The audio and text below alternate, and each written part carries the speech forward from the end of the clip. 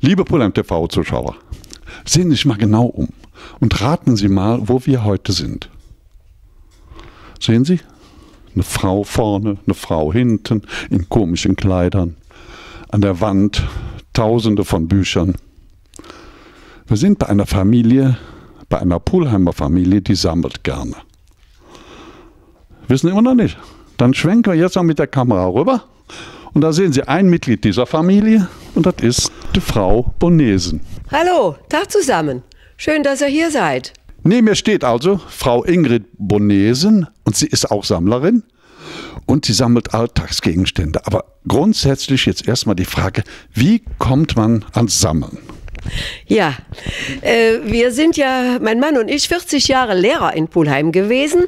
Und dann haben wir im Unterricht festgestellt, dass die Kinder immer gerne etwas haben und es auch länger behalten, wenn sie es echt begreifen können. Das heißt, in die Hand nehmen können. Und aus diesem Grunde haben wir viele Sachen gesammelt, äh, um die hinterher den Kindern zu zeigen oder um Projekte damit zu machen. Und äh, wir stellen viele Sachen auch aus. Und wir haben das jetzt hier zu Hause in der Vitrine mal ausgestellt. Das kommt demnächst ins Mediencenter. Da ist ja auch eine große Vitrine. Da stellen wir schon über drei Jahre aus.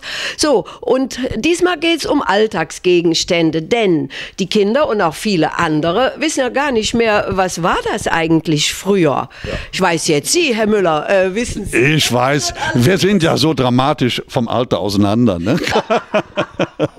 also, nee, aber fangen wir mal mit einem Gerät an, das mich fasziniert hat und das ist diese ich sage jetzt mal erstmal Vase.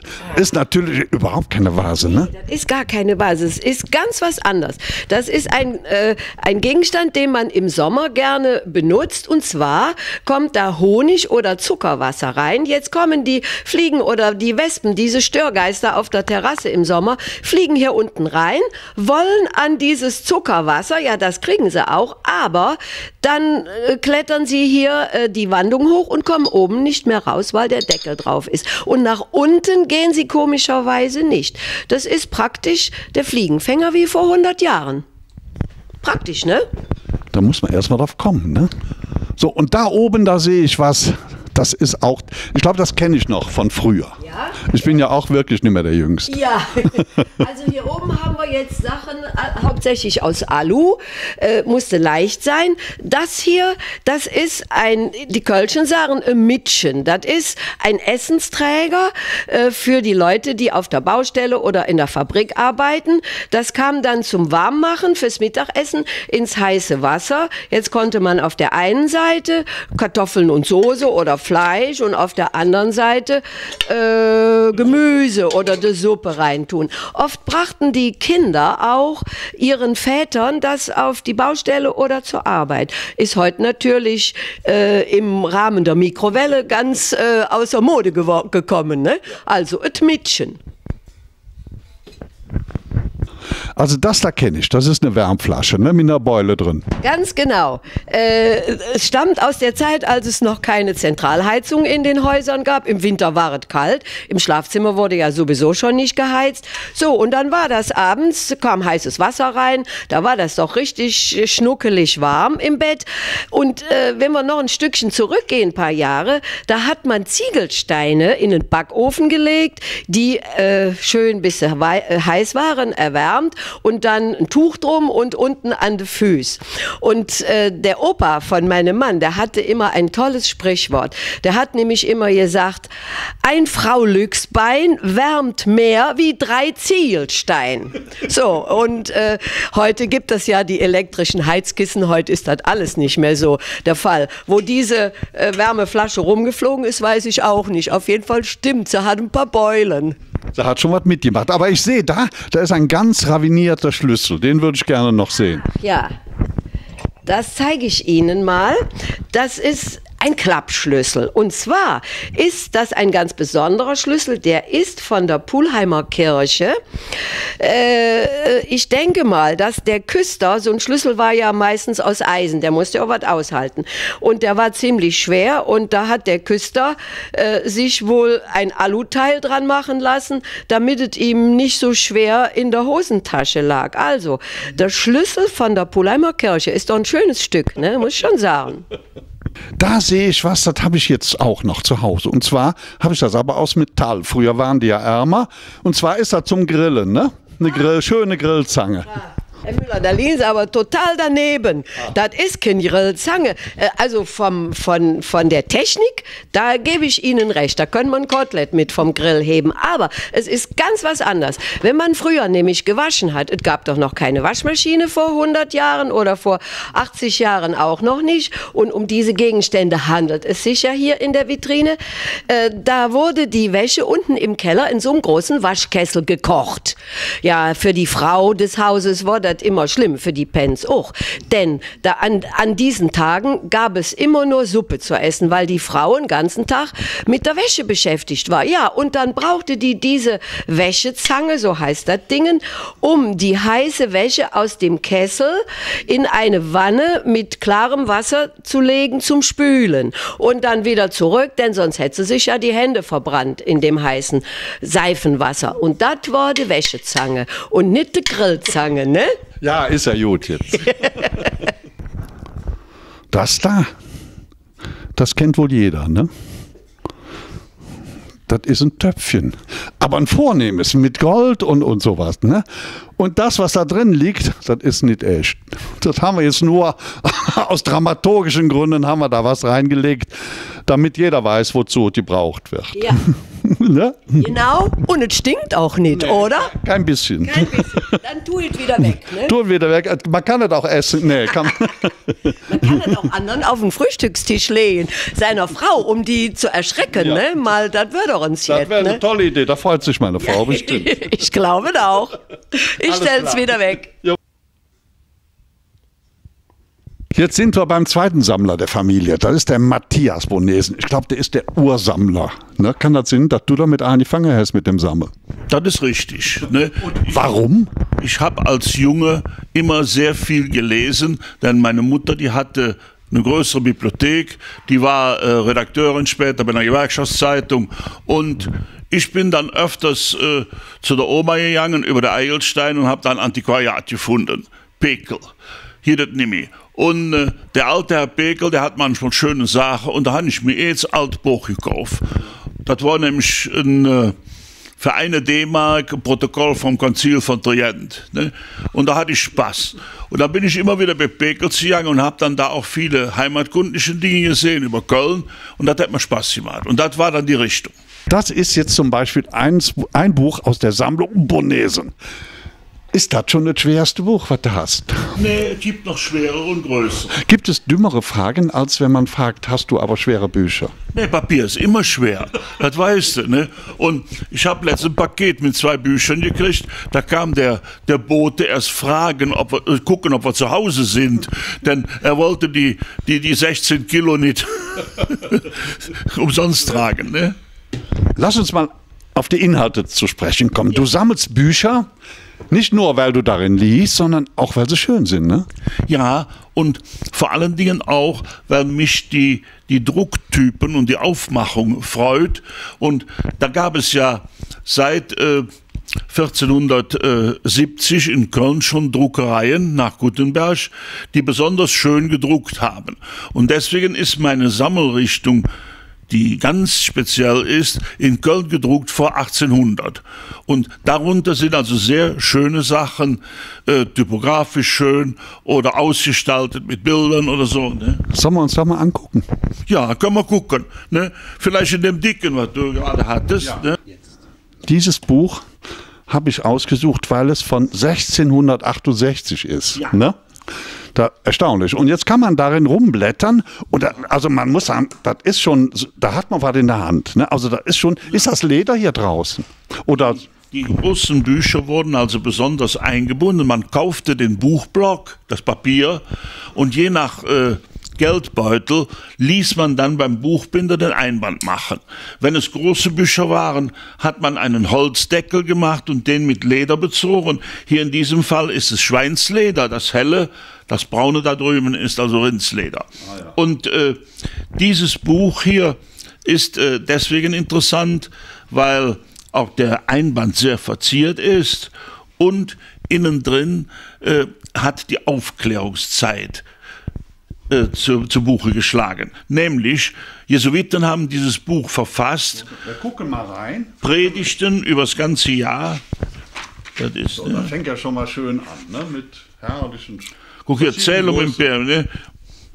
Und hier sind jetzt für das ganze, für die Festtage des Jahres immer wieder Predigten äh, zusammengedruckt. Und zwar so, dass vorne immer zunächst ein lateinischer Text steht von alten Schriftstellern aus Römerzeit und danach dann Dinge aus der Bibel. Und dazu ist das mit kleinen Bildchen illustriert, die aber teilweise gar nicht so geistlich anmuten, sondern sehr weltlich anmuten. Da wäre zum Beispiel hier äh, Christi Himmelfahrt.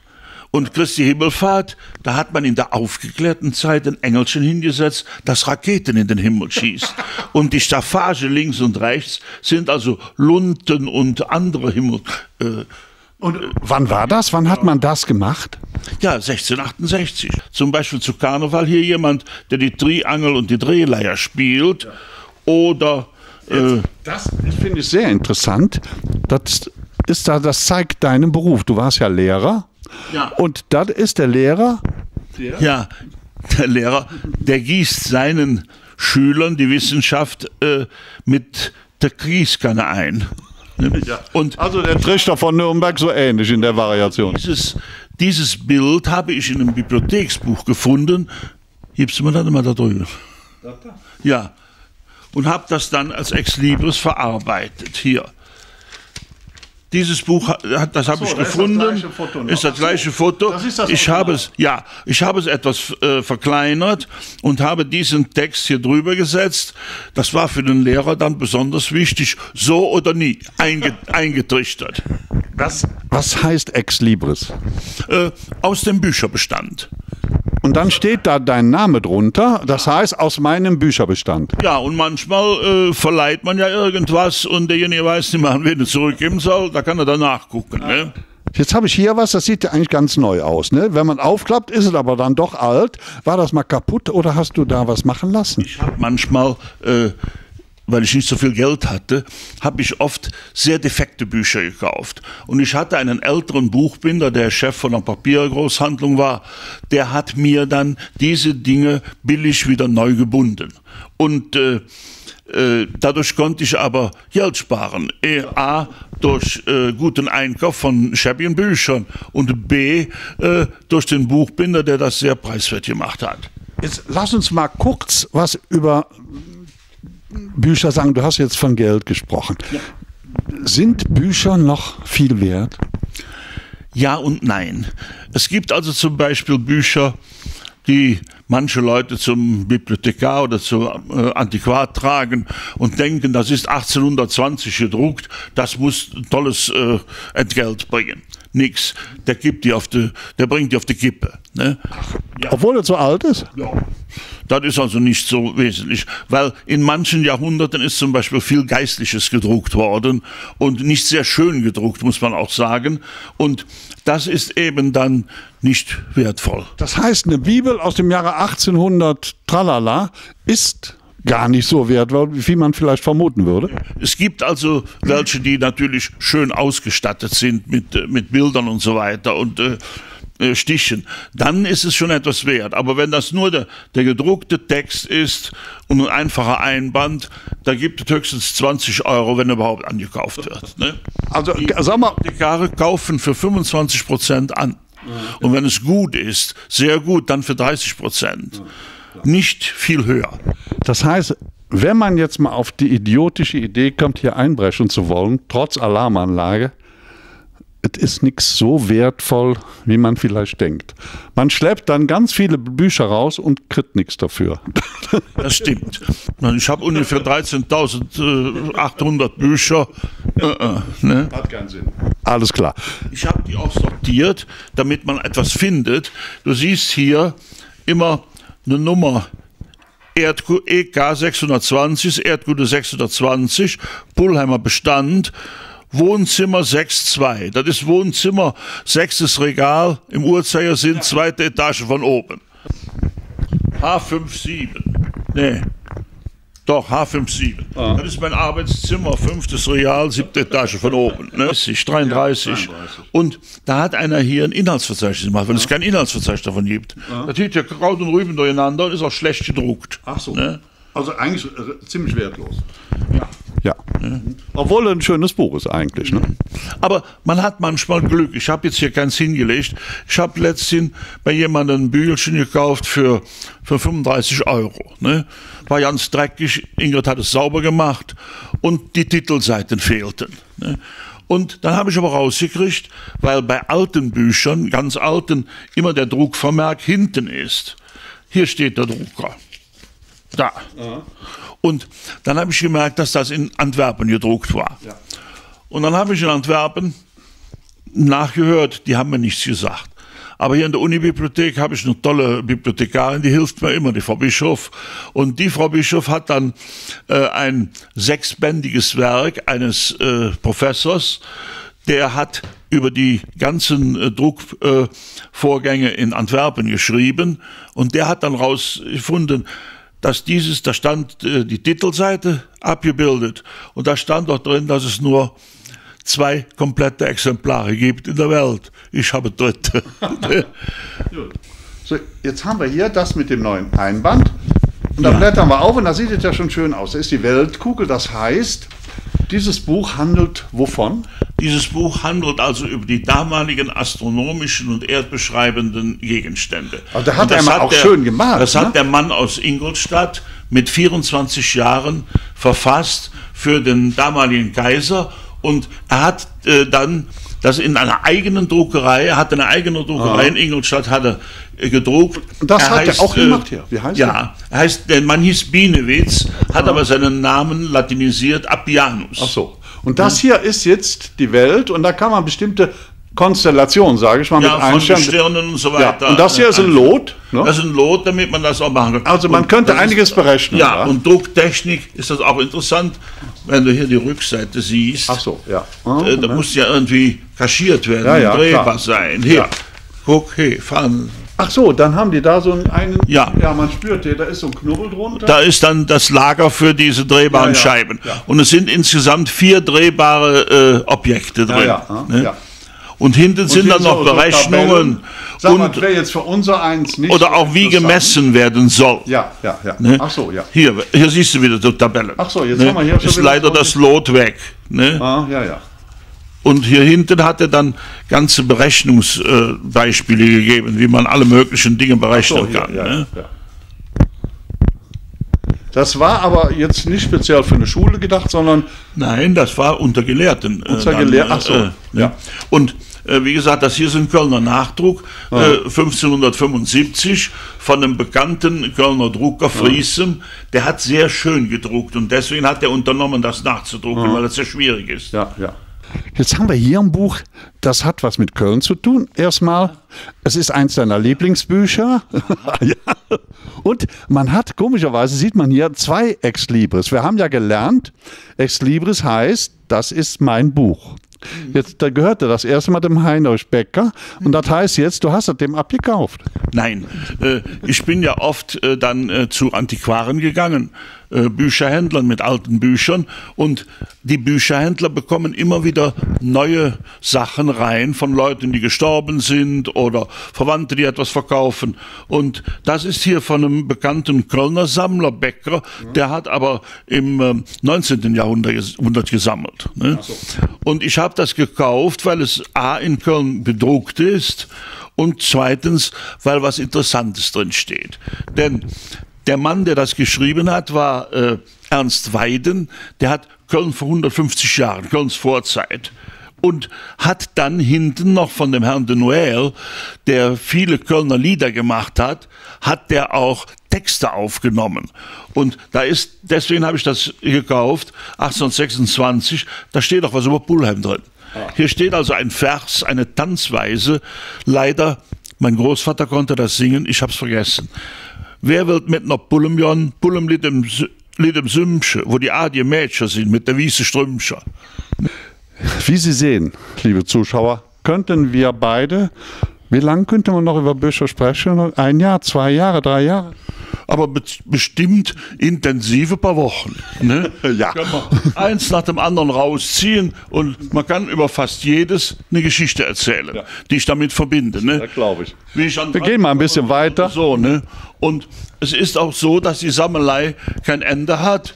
Hier, das habe ich letztens bei Venator gesteigert. 1550 über den Schmalkaldischen Krieg. Ich konnte die Hand nicht runternehmen. ja, ist klar. So, und dann natürlich hier, äh, da sind alle Sachen heimatkundlicher Art. ja, ja. Ne? Da ist Kölner Geschichte, aber das geht bis an den Niederrhein hier. Aber Äh, man sieht auch noch ein paar neue Bücher. ja, das muss ja, ne? Guck mal, das sind Kölner Sachen, die irgendwie äh, dahin müssen. Ne? Du siehst hier eine Lücke, das liegt noch da hinten, das ist der siebte Band der Kölner Stadtgeschichte, der gerade erschienen ist. Ne? Also, wenn Sie mal irgendwas über Bücher wissen wollen, über die Kölner Stadtgeschichte wissen und vor allen Dingen über die Pullheimer Stadtgeschichte, fragen Sie ihn, er weiß alles. Nö, er weiß nicht alles, aber es kommen immer wieder Schüler, auch mit anderen Sachen. Ich habe unten im Keller eine große Liederbuchsammlung. Und da kam letztens ein Junge, der musste eine Arbeit über äh, das Volkslied, das von der Hitlerjugend vereinnahmt worden ist. Und, und er meinte, dass nach dem Krieg dann die, die Lieder verbrannt wurde. Nix, selbst in den sozialistischen Jugendliederbüchern waren Lieder von Baumann, einem NS-Poeten. So, was wir jetzt noch klären müssen, ist, Sie haben da ein schönes Wölbchen an. was ist der Grund? Sie laufen ja nicht normalerweise hier mit dem, mit dem Jäckchen hier im Haus rum, ne? Nein, aber das hier ist etwas Besonderes. Meine Frau, die sammelt ja alte äh, Kleidung und vor allen Dingen Trachten. Und äh, da haben wir aus der Schwalm, das ist also nähe von Marburg, 45 äh, Kilometer östlich von Marburg, eine Trachtengegend, wo noch Tracht getragen wird, sonntags. Und äh, da kannte man den Schneider und der hat uns alte Dinge besorgt und hat mir dann auch, damit ich für Karneval oder sonst was habe, solche Dinge gemacht. Ne? Und das habe ich jetzt angezogen, weil wir gleich mit Ihnen äh, noch was anschauen wollen. Tja, da schauen Sie, ha? Wissen, was das ist? Das ist kein Karnevalskostüm. Das ist ein Originalkostüm eines, und jetzt geht wieder die Frau Bonesen in das Spiel. Von wem? Eines Domschweizers im, vom Kölner Dom. Original. Und die haben gesammelt, ne? Ja, genau. Äh, wer schon mal im Dom war, der hat das ja auch gesehen. Die haben so einen Sammelbügel und dann müssen die Leute, die den Dom angucken, da ihr Schärflein reintun. Möglichst viele Euro, möglichst auch Scheine. So, und dann waren sie komplett. Also, wenn Sie demnächst im Dom sind und Sie sehen mich da, Sie können da ruhig Geld reinwerfen. Ich kann auch Geld gebrauchen. Und die Hälfte gebe ich dann im Dom.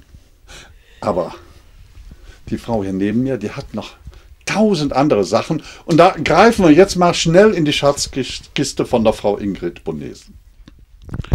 Das ist ein kleiner Teil der Sammlung. Da oben, das sind Schuhtaschen, ne? Richtig alte Schuhtaschen. Gut, wenn Lehrer Schuhtaschen sammeln, verstehe ich noch ganz. Aber darunter sind Kleider. Wovon?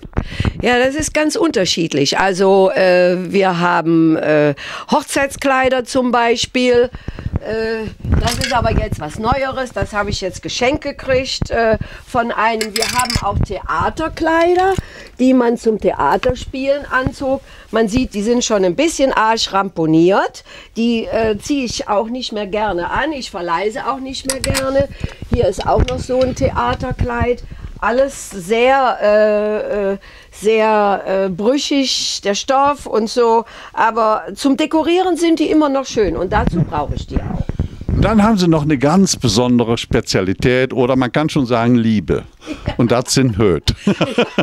also, wenn wir mal da hinten schauen, da sind nur ein paar von den Hüten.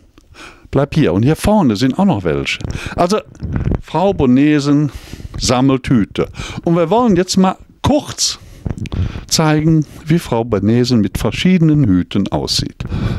Moment, so. Das ist also jetzt der erste Hut, den wir Das sehen. ist mein erster Hut, das ist auch ein älterer Hut. Und zwar stammt der Hut aus dem Schwarzwald. Es ist nicht dieser Bollenhut, aber auch diese Form. Hinten sind zwei Schleifen. Ich drehe mich mal rum. Ja. Wow, von hinten genauso schick wie Ja, von vorne. ja. Äh, so, und dieser Hut ist so einer, die meisten Frauen, die äh, jetzt auf so einer Modenschau sind, die sagen, ich habe kein Hutgesicht. Stimmt gar nicht. Dieser Hut steht jeder Frau und ich bin ja auch schon ein bisschen reifer. Äh, also ich finde, man darf den Hut nur nicht zu weit nach hinten setzen. So, das wäre jetzt, Jetzt- der erste Hut. Jetzt kommt der nächste Hut. Das ist jetzt Hut Nummer zwei. Hut Nummer zwei. Oh, der rutscht ein bisschen. Und zwar, wir sind früher viel in der Schwalm gewesen. Äh, ach Quatsch, in der Wachau in Österreich. Und das ist so ein, äh, eine Wachauer Haube. In alten Filmen sieht sieht man die schon mal, ist äh, gar nicht so dekorativ, die rutscht dir ständig vom Kopf. Um. Ja, Ach ja. Mhm. Aber überall ein Schlöpfchen hinten dran. ne? Ja, überall ein Schlöppchen dran. Okay. Das ist, wie man schon an der Farbe sieht, eine Linzer Goldhaube.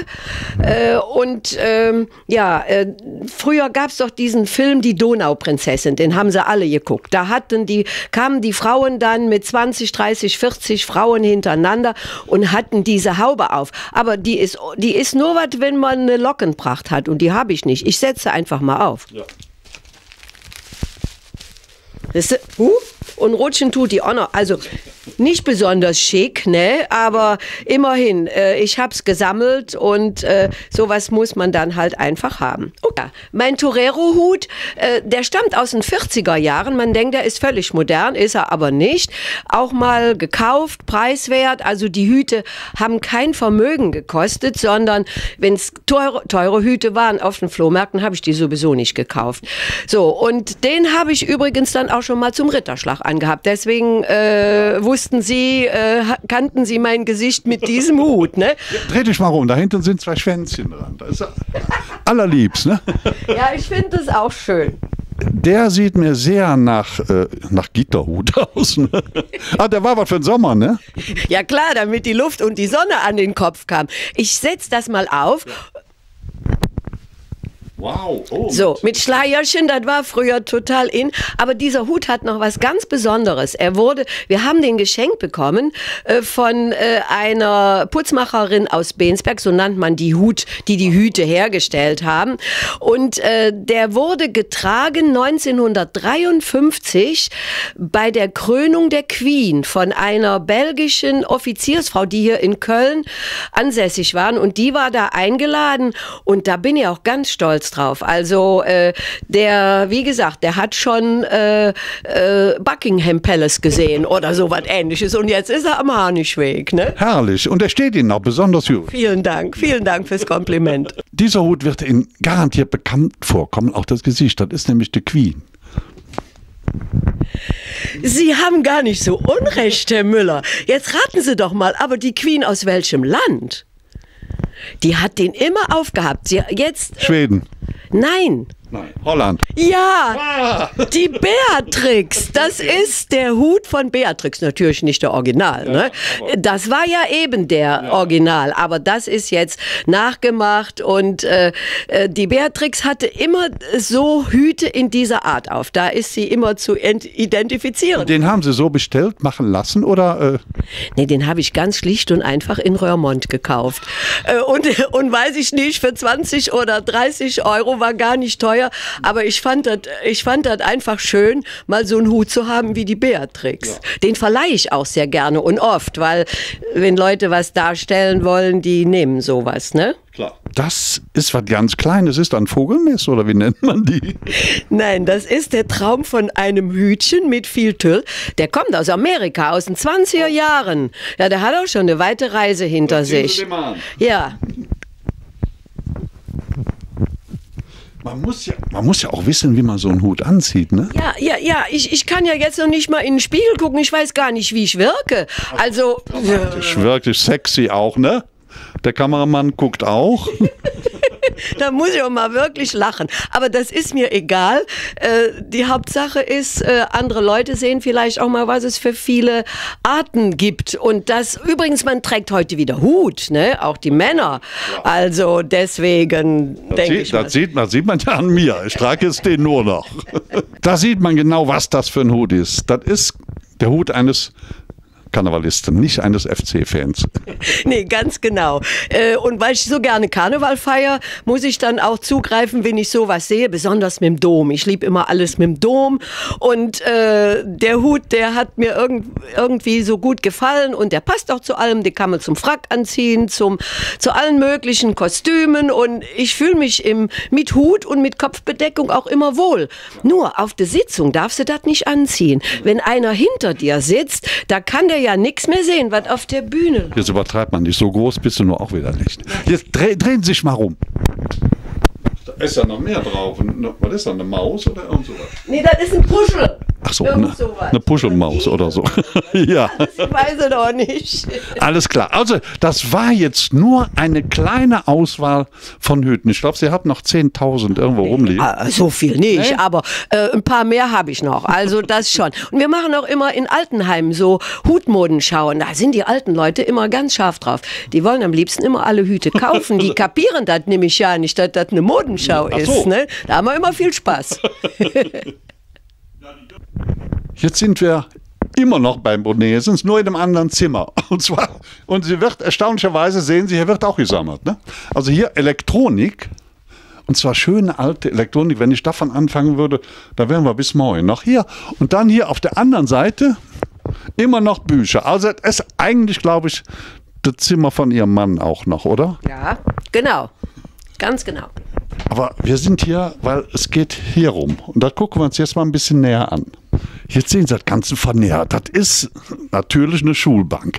Aber wir haben sie jetzt wirklich mit Gewalt da reingequetscht. Ich bin mal gespannt, wenn wir die Frau nachher da rauskriegen. Aber erstmal geht es um die Bank. Die ist ja klasse. Wo haben Sie die her und was ist das? Ja, also das ist eine alte Schulbank, die haben wir aus Schweden 1978 mitgebracht. Äh, das ist aber eine Einzelbank. Bei uns in den alten Schulen gab es keine Einzelbänke, sondern immer Doppelbänke oder sogar Dreierbänke. Aber die gefiel uns eben so gut äh, und unsere Enkel haben auch sehr gerne da dran gesessen, haben auch auf der Tafel geschrieben und äh, die ist einfach dekorativ. Ich passe jetzt wirklich kaum rein. Hier ist äh, kann man das aufklappen. Hier kommen, äh, hier ist ein Federhalter drin und ein Griffel. Hier kam ein Tintenfässchen rein. Das habe ich aber jetzt nicht drin. Das haben wir aber auch, weil wir früher mal ein Schulmuseum aufmachen wollten. Haben wir aber dann doch nicht gemacht. Aber wir haben eben als Lehrer vieles gesammelt und es war auch für die Kinder immer sehr interessant zu sehen mit Schiefertafel. Auf die Schiefertafel schreiben. Fanden die ja so toll, ne? Da haben die geübt, geübt, wenn sie sonst auch kein Lust hätten, jetzt zu tun, ne? Aber das hatten sie dann gemacht. Oder zum Beispiel hier äh, so eine alte Griffeldose. Äh, Ach, und das an, da ist auch noch was Besonderes. Das, das Schwarze hier, da konnte man sich, äh, da war eine Fuschzettel, ne? da konnte man sich was drauf notieren. Da hat der Lehrer ja nicht gesehen, wenn das da drüber war. Ne? Und äh, ja, für Bleistifte und so weiter alles. Und äh, ja, hier, das ist eine Schiefertafel, da ist auch schon ein Riss drin.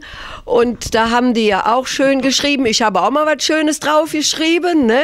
Das kratzt ja auch so schön laut. Ne? Ja, da halten sich manche, wenn wir im Altenheim das machen, dann halten sich die, die Leute die Ohren zu, weil das so unheimlich quietscht. Äh, an, einer Tafel war auch immer noch ein Schwämmchen. Wir haben auch Schwammdöschen, aber äh, die, die wurde dann immer wurde feucht gehalten, ganz, den ganzen Tag, dass man schön wischen konnte. Und hinterher mit dem gestrickten, wie Topflappen, wurde das sauber gerieben. Ich will das jetzt aber nicht machen, dann geht die schöne Schrift weg. Das wollen wir doch mal drauf lassen. So, dann haben wir hier noch äh, eine alte Fibel auch ein ganz schönes äh, Stück, nämlich, ich drehe das jetzt mal rum, äh, die heißt die Domfibel, äh, also natürlich was aus Köln. Deswegen habe ich auch ob der Höhe so gern den Kölner Dom drauf. Ne? Also Dom ist meine Affinität und äh, also wirklich, äh, ach so, hier, ja, das ist auch die schöne Seite noch. Ähm, ob die Kinder schneller daraus gelernt haben, die Buchstaben, weiß ich nicht. Auf jeden Fall äh, war sie schön. Hier haben wir noch ein Rechenbuch, Kölner Rechenbuch äh, mit. Ach, da, da, waren noch die Geldstücke drauf. Ja, ja, ja, ja, ja. Ist äh, genau noch, äh, ich glaube, aus, den, äh, aus den 30er Jahren oder sogar noch davor, 1926. Und da hatten wir ja da die andere Währung. Das Ganze war dann im Ranzen. Äh, der Ranzen sah natürlich nicht so aus wie heute. Äh, reichere Leute hatten zum Beispiel einen Samtranzen. Ne? Samt, ne? Das ist Samt. Da mit, verdammt viel Arbeit. Ja, ja, und hier mit, mit, mit Metallecken, damit, so. äh, ich meine, die Kinder haben der Ranzen auch halt in der Ecke gehauen, ja. wenn sie keine Lust hatten, Hausaufgaben zu machen. Jetzt war hier früher, da, der, ich denke mal, der ist so ungefähr 100 Jahre alt, da war da Rotkäppchen drauf. Heute ist Star Wars und so eine Dresstrop. Äh, die, ja, aber die Geschichten sind aber die gleichen. ja, die Geschichten und auch der Inhalt ist vielleicht das gleiche.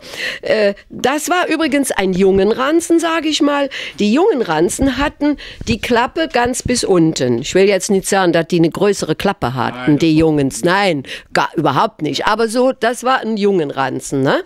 Und jetzt haben wir einen Ranzen. Oh, so, ja.